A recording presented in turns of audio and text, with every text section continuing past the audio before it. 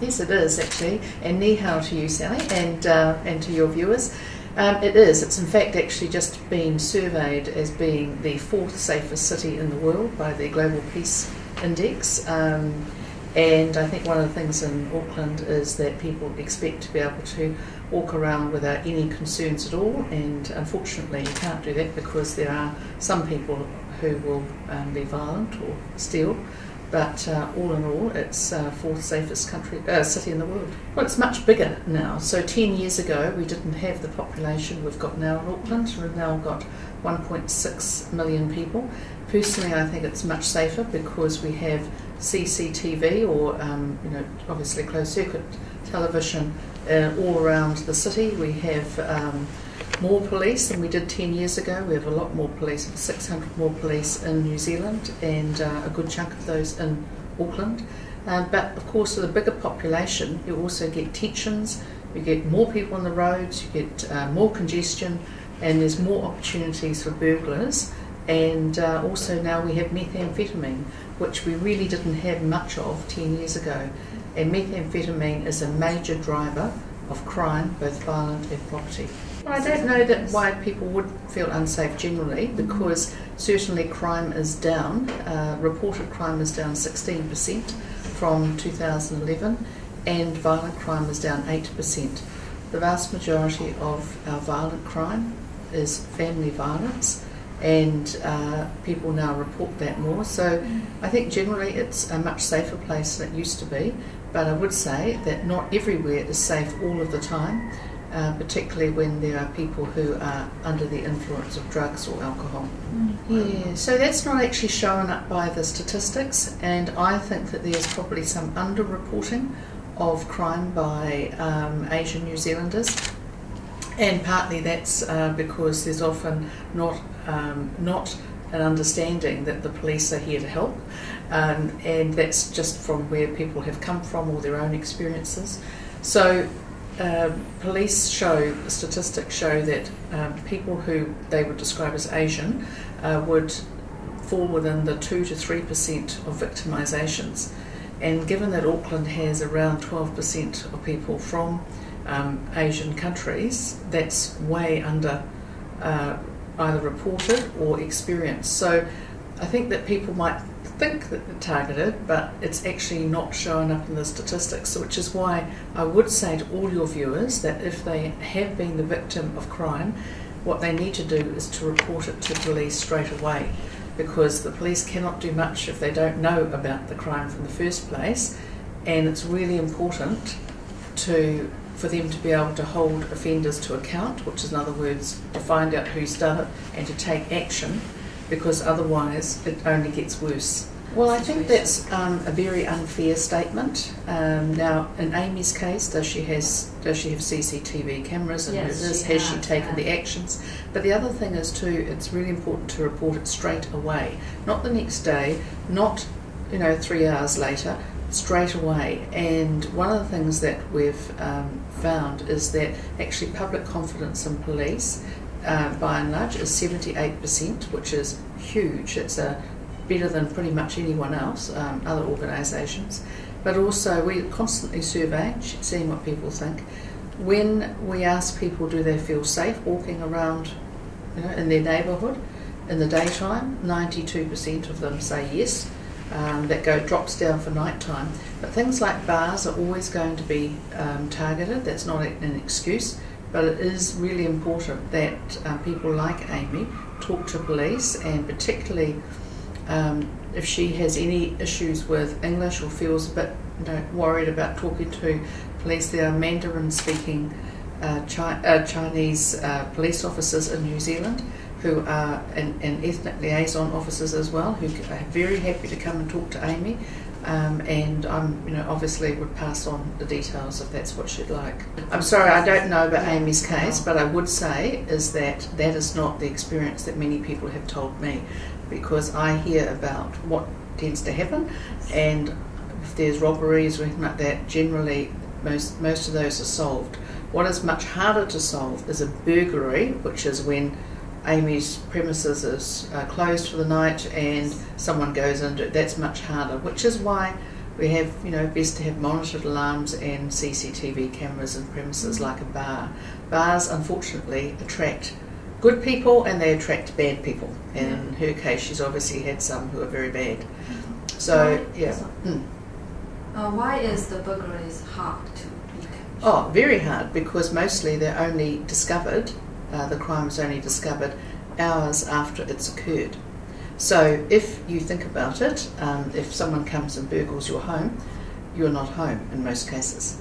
So if you are, you ring police 111 to get help straight away and, and say someone's on the premises and you will get help because that's called a priority call out. If, however, you come home and you've been away on holiday for two weeks and you found you've had a burglary, very hard to catch from there unless there are other clues and unless the burglars have kept have left fingerprints or DNA that's obviously theirs, not someone else's, and unless there's some sort of trail. So there are things that we can do to protect ourselves and our property. One of them is, in my personal view, monitored alarms are very helpful. And if you have jewellery, don't leave it out in the open and don't let people know where it is. So things like that take very you know sensible approaches. But in New Zealand, um, uh, all the statistics show against other countries that we do very well. But you have to understand too, we can't stop everybody doing what they do, unfortunately. What I've said is that we need to have more police in the Yes. future. I think police are coping very well now, but they need to have more in the future. And mostly that's around the calls for family violence. So, family violence, unfortunately, uh, amounts to 42% of a frontline police officer's time. It's extremely difficult, plus mental health issues. So, police are often called to suicide attempts or people with very serious mental health issues, and they have to respond. That gets priority over other matters, um, and I think that that should get priority over other matters. But it does mean it puts pressure on police in these other areas. So anything that we can do as responsible homeowners uh, to try and keep down the rate of burglaries is a very helpful thing to do. But look, I think the fact is burglaries are normally um, committed in order to get money for drugs. And anybody in the community that you know about who is selling methamphetamine or P to people in New Zealand, those people are driving the crime rate. And it's them driving burglaries. So, you know, if I'd say to anyone listening, if you know about them, please advise police. Well, there's lots of those things actually, but I can't tell you those because I'm in discussions with the Prime Minister and Cabinet. So there's uh, work going on right now. It's understandable that people think, well, I want to be able to wander around Albert Park at night. Actually, you shouldn't. You know, it's about being sensible, about staying in light, well lit places, walking down the road rather than through Albert Park, things like that. These are precautions that people need to take into account. Um, if you're living in New York, you wouldn't walk through Central Park at night by yourself. You would, you know, you'd- be a bit more careful. And I think the thing is, New Zealand has very much a safe um, reputation, and we need to retain that. But we also need to have that in reality. So when I look at the victimisation figures for Asian New Zealanders or Asian people living in New Zealand, who identify as Asian, then those figures are between 2 and 3%. That is so far below the population base in Auckland that um, I think either it's there's no targeting or secondly people don't report it. And I think people often don't report it because they don't aren't used to reporting and they don't aren't used to going to police for help. And in New Zealand people can be rest assured that they can go to police for help. But I'd also say if you are anywhere and you see crime being committed or it happens to you, you ring 111. 111 is a priority call line and ask for police, and police put priority on that for everything. Well, it might do if it's a methamphetamine case. So it depends what's going on, but the fact is is that we have very good resolution rates, not in burglaries, I'm sorry to say, but in violence cases.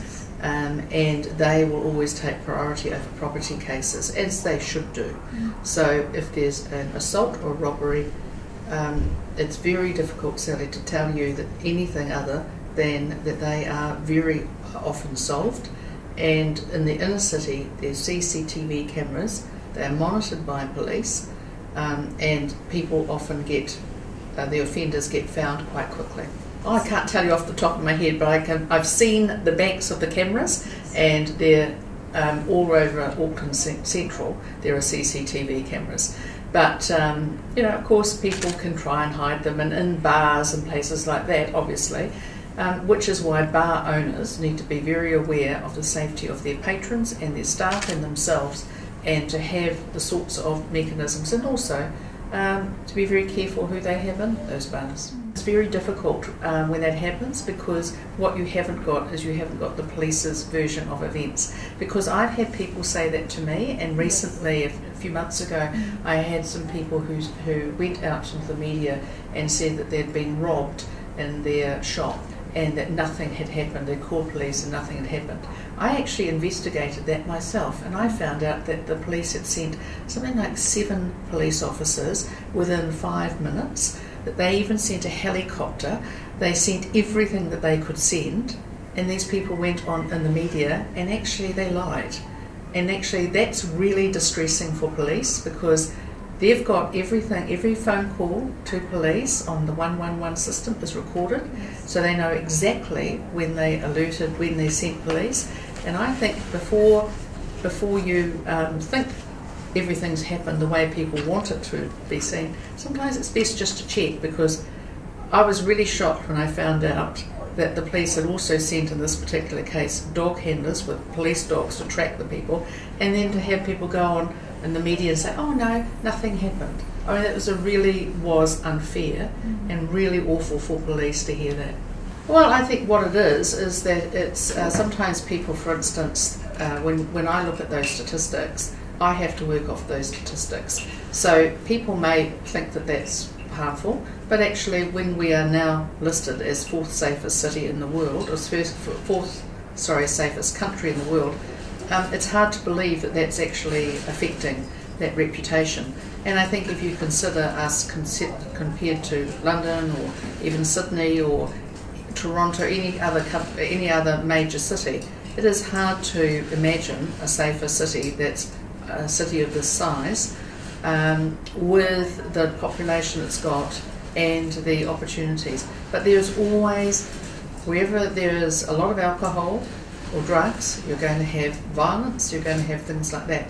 And what I'd say to your your viewers is if you know of people who are selling methamphetamine in this country, please ring police. If you don't want to ring police, ring Crime Stoppers, which is which is a uh, completely anonymous um, tip-off line because methamphetamine is behind, according to police, behind um, many of the burglaries in this country, and they're behind. It's behind a lot of violence. So if people care about it, let us know. Well, I think people need to always be very careful, and I'm very concerned not to ever blame victims because I think, you know, that's that's really unfair if someone's been a victim of a crime, particularly a violent crime. But I think it's always important to think about if you're around the in a city or wherever where there's a lot of people, stay in places where there are a lot of people don't go off down a back street at night. Um, be careful around, don't go through parks at night, particularly by yourself. If there's a big crowd of you, that's probably fine. Um, but just think about don't leave um, valuables in your cars. Uh, often people do that and then they wonder what, why they got broken into because there's a you know computer sitting there or phone. Um, be very just just always think about um, what would happen if someone came out and, and wanted to attack you and steal your handbag, for instance. So this is actually, as say, very safe city, very safe country, but you also understand that there are people who are violent or are thieves, and you know we get very. We used to have a little spate at one stage of bag snatchers. Um, we haven't had that for a while, um, so it's just about being careful and thinking about how you're presenting yourself and are you putting are you in a vulnerable position? So you know I would not personally walk around the inner city at three o'clock in the morning by myself because I am a, a, a woman of you know past 50 years old by myself. And I'm not going to present to someone who is a violent person as someone who could be a victim.